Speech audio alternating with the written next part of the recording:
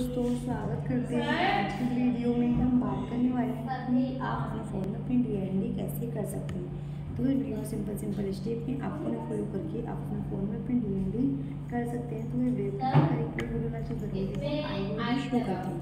Video शुरू करने के लिए गाइस सबसे पहले हमें अपने फ़ोन में अपनी सेटिंग को ऑन करना होगा। ऑन करने के बाद यहाँ पर आपको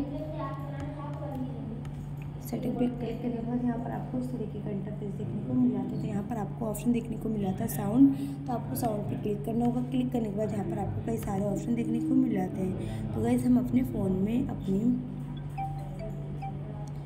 पर आपको ऑप्शन देखने को मिला था, डो नॉट डिस्टर्ब तो आपको उस पर क्लिक करना होगा और इस ऑप्शन को ऑन कर देना है। तो गई आपके फ़ोन में अगर डो नॉट डिस्टर्ब ऑन है तो आपके पास कोई व्यक्ति कॉल या मैसेज करता है तो आपको उसके फ़ोन, आपके अपने, उसका, आपके फ़ोन पे ना कोई कॉल मिलती है देखने के लिए, ना कोई मैसेज। अगर दूसरा व्यक्ति अगर आपको कॉल करता है तो आपका फ़ोन उसे स्विच ऑफ़ नहीं बताता। तो भाई, इस तरीके से आप अपने फ़ोन में अपनी डो नोट डिस्टर्ब को इनेबल कर सकते हैं। तो भाई, वीडियो पसंद आई हो तो शेयर करें लाइक करें। चैनल पर नए हो तो चैनल को सब्सक्राइब करें मिलते हैं अगली नेक्स्ट वीडियो में। तब तक के लिए bye bye and take care